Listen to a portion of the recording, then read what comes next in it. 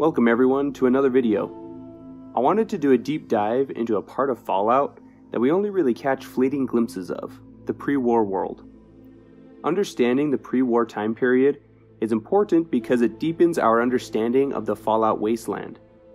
Much of the aesthetic, philosophies, and civilizations often have their genesis in or flavor of the pre-war world. So let's take a look at the historical events, the culture, and what the average life of citizens in the pre-war was. First off, I think it is important to point out at the beginning here that much like everything else with Fallout, most things have a basis in our world. It could be said that Fallout, in many ways, is a caricature of our world. Events, philosophies, and the like all have a basis in what is familiar to us, and then are often taken to the extreme. This is often a form of exploratory analysis or critique, and a great example of this is the Bioshock series, as it explores themes of objectivism, classes, and authority. So it will become pretty obvious that much of what we will explore in this video has a fascinating basis in our reality. I want to cover some of the post-World War II history, and then the big historical events leading up to the Great War in 2077. The main geopolitical opponent coming out of World War II was the USSR, much as with our own timeline, and an arms race and Cold War arose from this situation. With some minor differences, the tense relationship between the countries that then weaponized their political ideologies against each other was much the same as in our own world. An important difference, however, seems to be that the USSR did not dissolve after 1989 like it did in our world. Rather than the USSR collapsing, it seemed to either enter a decline or just be eclipsed completely by the rising Chinese nation. By the 21st century, China was recognized as the principal enemy of the United States. And although the USSR was not the main threat, it was still considered an enemy of the United States. By the time of the Great War, relations had improved considerably from their Cold War lows, with immigrants being accepted into the US and even a Soviet citizen being admitted into Vault 13. The USSR must have weakened considerably, allowing for China to assert itself as the main geopolitical rival to the US, which is also indicated by the dearth of information we have in game regarding the USSR.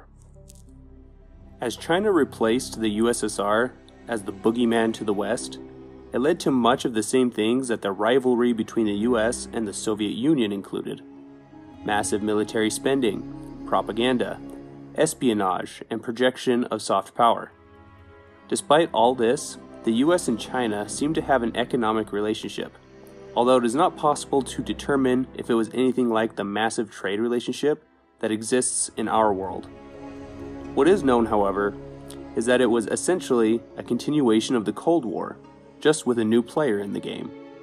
This would start to change as the world's dependence on oil was stressed to the breaking point. The Resource Wars, as I'm sure many of us know, and the rest could intuit, were a series of wars waged from 2052 into the 2070s over primarily oil and uranium. According to the Fallout Bible, one of the first important events was a U.S. invasion of Mexico. Although it was under the guise of national security due to the rampant corruption and major issues with pollution, the U.S. was quick to secure the oil refineries and make sure that resources could be quickly and safely brought into the U.S. Not much else is known about this event and the eventual outcome, and we should always remember that the Fallout Bible is not implicitly canon. Europe, or what is known as the European Commonwealth in the Fallout universe, began to feel the shortages of oil rather sharply as their dependence on oil from the Middle East led to heightened tensions. Oil prices continued to rise, though with no diplomatic means to solve the situation, it eventually led to a war. There were some key events that took place during this conflict, namely the nuclear bombing of Tel Aviv in 2053 and a limited nuclear exchange that led to fears of a nuclear holocaust in 2054. There's not much more information given on these events, other than it directly led to the US moving forward with Project Safehouse, which was the government led effort to create vaults for the express purpose of having shelter in the event of a nuclear war. United Nations were completely incapable of preventing or containing the wars and violence, and due to major disagreements between most parties within the organization, it was disbanded. By 2060, the oil fields of the Middle East were no longer capable of producing more oil, and since that was the whole point of the conflict in the first place, the war fragmented into smaller armed conflicts amongst European nations as they vied for resources amongst each other. The US also felt the strain of resources, but had natural reserves that were still producing. It was also grappling with a nationwide epidemic due to the breakout of the new plague in 2053. China, on the other hand, was at significant risk due to resource shortages. Most of the world at this point could not afford to waste oil on personal matters. Therefore, gas powered automobiles quickly became useless as people sought for alternatives. In 2065, trade agreements between the US and China broke down as the United States loudly stated that the last remaining oil reserves were not going to be traded to anyone, while also revealing the world's first fusion technology that same year. China felt that there was no other option than to orchestrate an invasion of Alaska in order to seize natural resources from the United States in 2066. The American Sino War, as it would eventually be called, ground down into a stalemate with neither side capable of making significant progress. Even with a technological edge in fusion tech and newly introduced power armor, the US struggled to make progress. This led to the annexation of Canada in 2069. The US would use the war and Canada's reluctance to authorize massive amounts of US military and supplies through Canada to Alaska as a pretext to annex the country. The US immediately set about quelling Canadian resistance and protests, all the while pillaging the country's natural resources. As the war raged, the US instigated the Panverian Immunity Project, with the stated goal to help find a cure for the new plague that had caused quarantines and resulted in thousands of people dying since 2053. This research would lead to the development of FEV, which was intended to be used to create super soldiers. The US also sought to break the stalemate in Alaska, and in 2074 opened a new front on the Chinese mainland. The fight continued to be difficult, with little progress from either side, until 2076 when the T 51B power armor was introduced in large numbers. It solved many issues with previous armors and provided the necessary momentum to make American forces successful in taking ground from China in Alaska and pushing farther into mainland China. Not everything was sunshine and rainbows, however, as that same year many cities across the United States saw massive protests due to food and energy shortages. This led to martial law being declared, and U.S. troops being stationed within the U.S. to enforce the mandate. January 10, 2077, the US officially declared victory in Alaska and prepared to turn their full force toward mainland China in order to bring an end to our cornered and desperate foe. October 22, 2077, would be the last normal day of the pre war era, as the very next day, missiles flew and forever changed history. With that historical context, let's look at how that affected pre war life, culture, and beliefs. It takes no explaining to know that China was a very pervasive topic, as people feared the potential of conflict, worked to thwart Chinese espionage efforts, and the government itself blasted anti China propaganda at every opportunity. This led to what was called the Third Red Scare, the first having taken place after World War I and the second after World War II. These Red Scares happened in our timeline, and presumably also in the Fallout timeline. The first and second scares had similarities, namely in that they were pushed by fears of communist infiltration into places where critical information and positions of influence were at risk, and they centered around a concept of Americanism. This Americanism being at odds with and directly threatened by communist ideology and what were called un American traits. This led to heavy propaganda general mistrust and a curtailing of rights for the sake of security for the American people. This is easily reflected in the pre war world, where propaganda is still littered about the country centuries after the Great War. Posters, billboards, media, and even the new plague were all heavily propagandized. If you all remember, a stated symptom of the new plague was having communistic thoughts. Probably my favorite example of this was in New Vegas in Old World Blues, where you can go into a school and see several posters.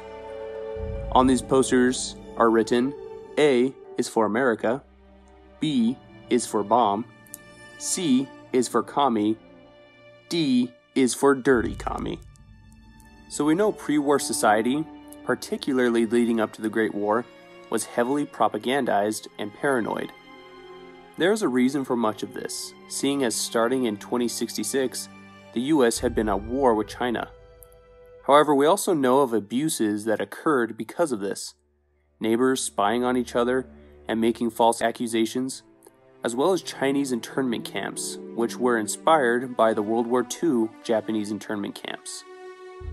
We also know that the years leading up to the Great War were fraught with fear and death regarding the new plague which was quite dangerous and really never given serious consideration by the US. Riots within the US as a result of food and resource shortages also paint an extremely bleak picture of pre war USA, as people have to be suffering substantially for multiple riots and protests to break out across the nation. The government power crept deeper and deeper into everyone's lives as they used international events as excuses to infringe on people's rights and eventually outright martial law as things became exceptionally dire. So, with all that heavy stuff in mind, how can we rationalize this with the happy go lucky perception of the pre war era that is presented to us either through remnants of the past or directly, as in the intro to Fallout 4?